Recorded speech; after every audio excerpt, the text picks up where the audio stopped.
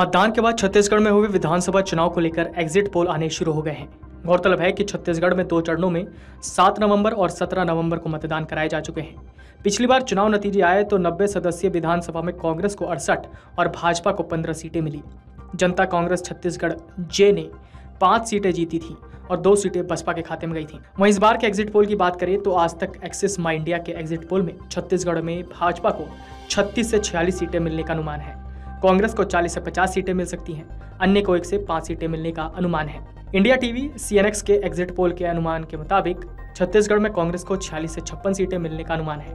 भाजपा को 30 से 40 सीटें मिलने का अनुमान है, अन्य को तीन से पाँच सीटें मिलेंगी। जन की बात के एग्जिट पोल में अनुमान के आधार पर छत्तीसगढ़ में भाजपा को बयालीस से तिरपन सीटें मिल सकती हैं। कांग्रेस को चौंतीस से पैंतालीस सीटें मिलने का अनुमान है, जबकि निर्दलीय के हिस्से में तीन सीटें जा सकती हैं। टीवी फाइव न्यूज़ के एग्जिट पोल के अनुमान के अनुसार कांग्रेस के खाते में छप्पन से चौंसठ सीटें जा सकती हैं।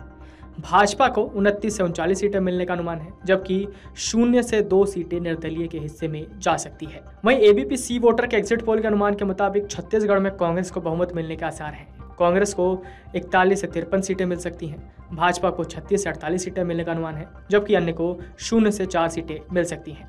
वहीं अंतिम नतीजे तो तीन दिसंबर को आएँगे। इसमें पता लग जाएगा छत्तीसगढ़ में किसकी सरकार बन रही है। Video desk Amar Ujala dot com.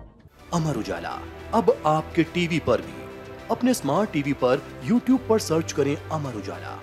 Channel subscribe करें और देखें ताज़ा खबरें। वो भी HD क्वालिटी में। और हाँ बेल आइकन दबाना ना भूलें, ताकि हर खबर हो आपके घर। अमर उजाला, निष्पक्ष निर्भी निरंतर।